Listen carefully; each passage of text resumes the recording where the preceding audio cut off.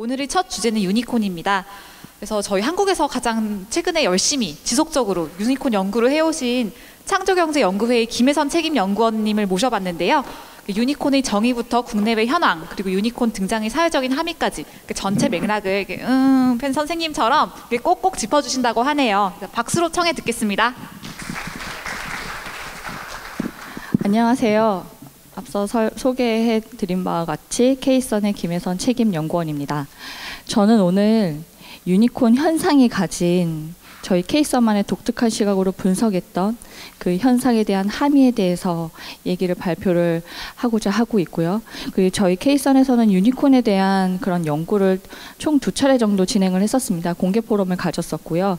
오늘 제가 말씀드리려고 하는 거는 첫 번째 공개 포럼을 통해서 제가 발표했었던 유니콘 현상에 대한 그런 함의에 대해서 약간 축약해서 발표를 시작하도록 하겠습니다.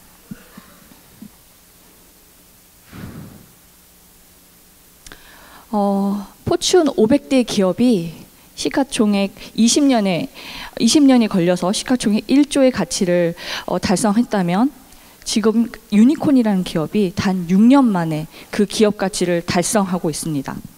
그런데 그러한 현상이 전 세계 전역에 걸쳐서 유니콘 붐이라는 현상으로 나타나고 있는데요. 과연 이러한 현상이 부분적인 현상일지 아니면 뭔가 근본적인 변화를 알리는 신호탄일까요? 저는 이러한 현상을 분석하기 위해서 다음과 같은 두 가지의 질문을 던져보았습니다. 유니콘의 현상 속의 본질은 과연 무엇일까? 그리고 유니콘의 성장 조건은 무엇일까? 이것을 분석하기 위해서 KCERN에서 일반적으로 활용하고 있는 시간, 공간, 인간의 관점에서 한번 유니콘의 현상을 조망해 보았습니다. 우선 유니콘의 시간적 분석입니다. 블룸 에너지를 기점으로 해서 20개월에 한 개 등장하던 유니콘 기업이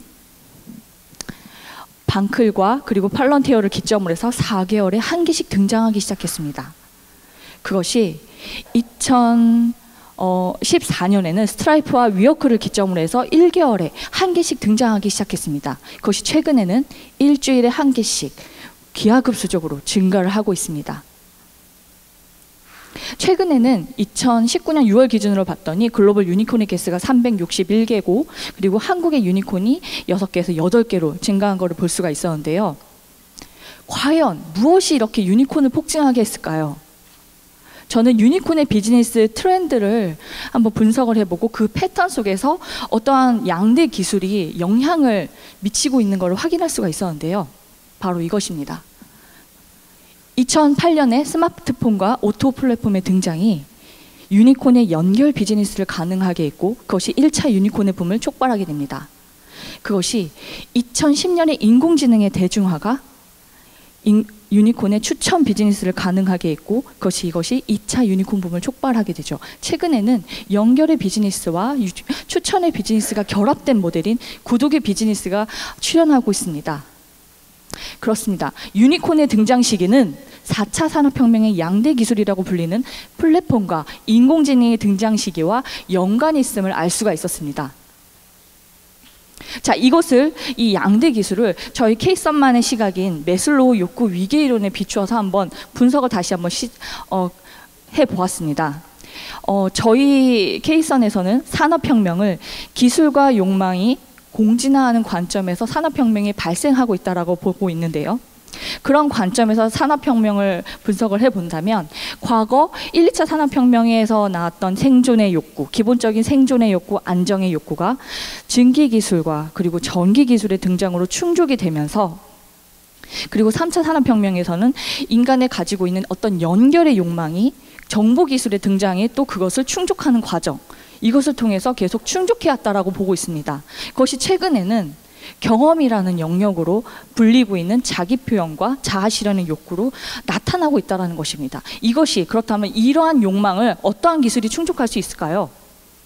이런 방대한 개인화된 욕망의 충족 기술은 바로 아까 앞서 말씀드렸던 플랫폼과 인공지능이라는 것입니다. 이 플랫폼과 인공지능을 중심으로 해서 인, 방대한 개인화 욕망이 충족되기 시작했고 이것은 실제 유니콘의 비즈니스 트렌드에서도 볼 수가 있었습니다. 바로 연결의 서비스에서 추천의 서비스, 최근에는 구독의 서비스로 진화 발전하고 있다는 것이죠. 그렇다면 이번엔 유니콘의 공간적 분석을 보도록 하겠습니다.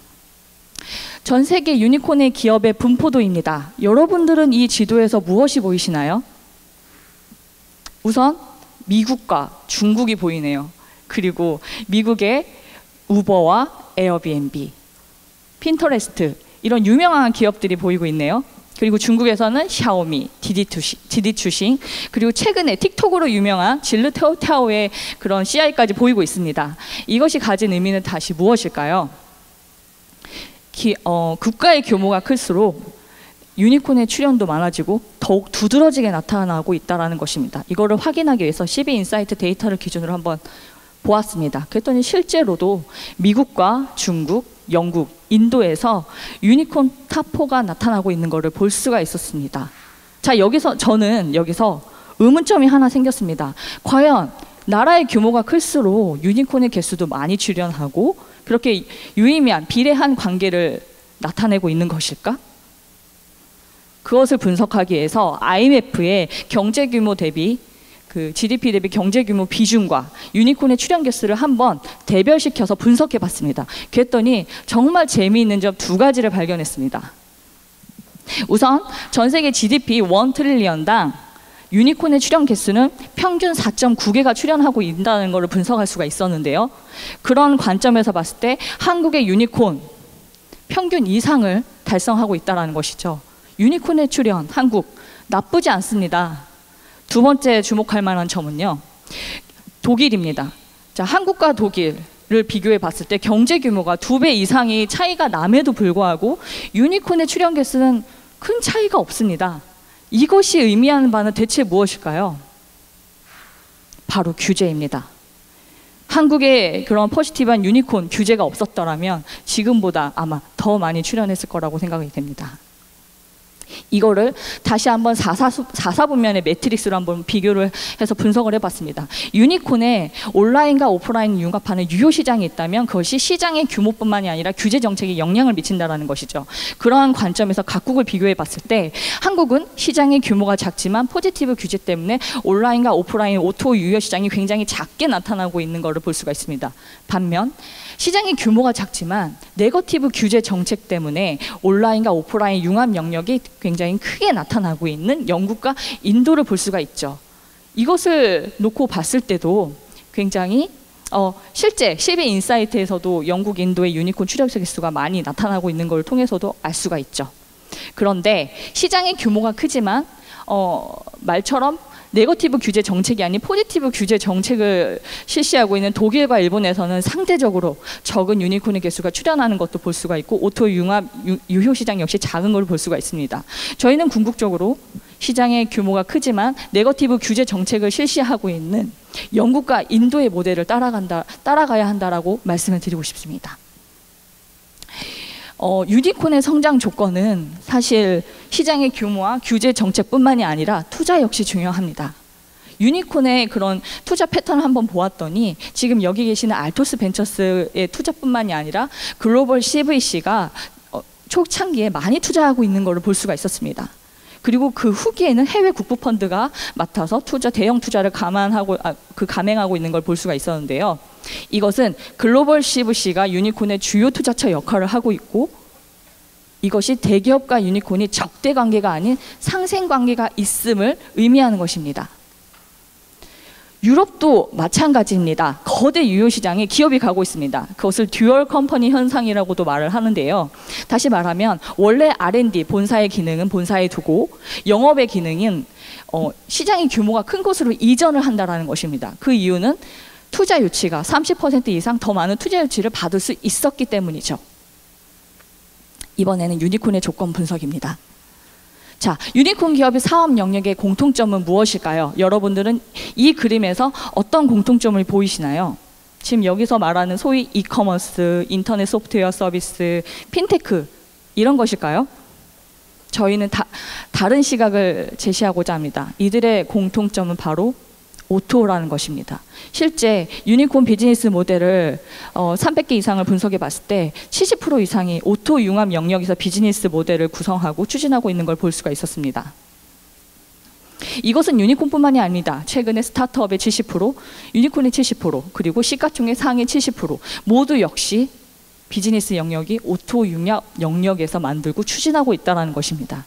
여러분, 온라인과 오프라인의 물리적인 영, 그 융합만을 말하고 있는 것이 아닙니다. 온라인과 오프라인의 융합에서는 인간이 기존에 누리지 못했던 시간 공간의 그 한계를 초월하고 그 안에서 인간의 오감으로 수집된 그런 데이터들이 아날로그로 다시 경험이라는 그런 이름으로 다시 서비스화되고 있습니다. 그런 의미를 가지고 있는 것이 바로 O2O 융합의 비즈니스인 것입니다.